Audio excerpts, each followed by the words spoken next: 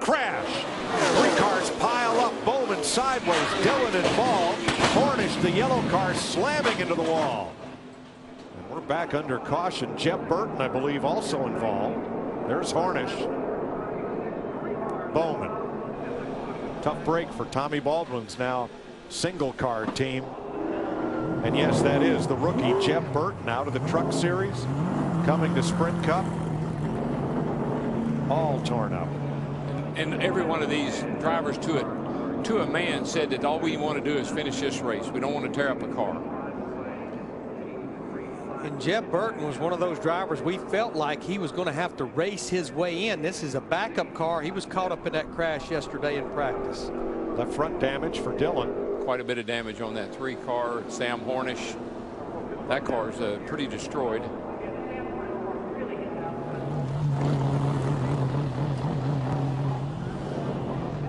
Lot of suspension dragging on the Burton car. And what a shame for Alex Bowman, fastest in one of the practice sessions yesterday. Sad way to end this Budweiser duel for the 23 year old from Tucson. 21 year old rather.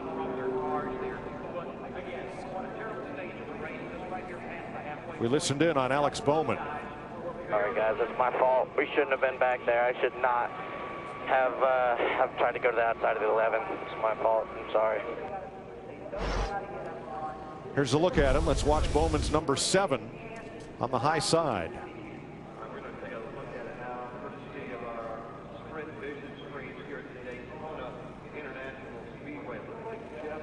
Nope. Yeah, I don't. And I it don't- all started. Jeb Burton Yeah. and Sam Hornish got together, and he Bowman was just a victim. No. Yeah, well, he uh, mentioned something about the 11. I think he said I didn't need going on the outside of the 11. I, I think you want to take a look at all that. Uh, he was actually a victim in this whole thing. See Yeah. right there, Jeb Burton gets into the right rear of Sam Hornish in that nine.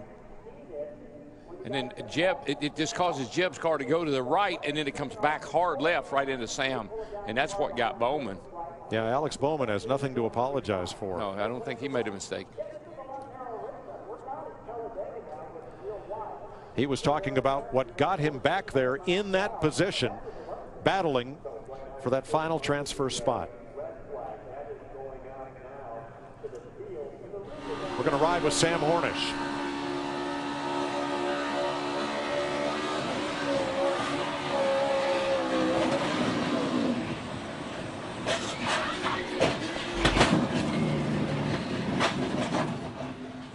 Car just got into our right rear for some reason.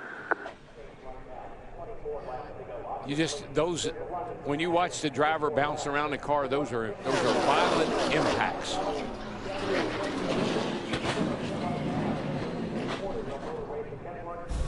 Look at the debris field there as they hook up uh, Alex Bowman's car.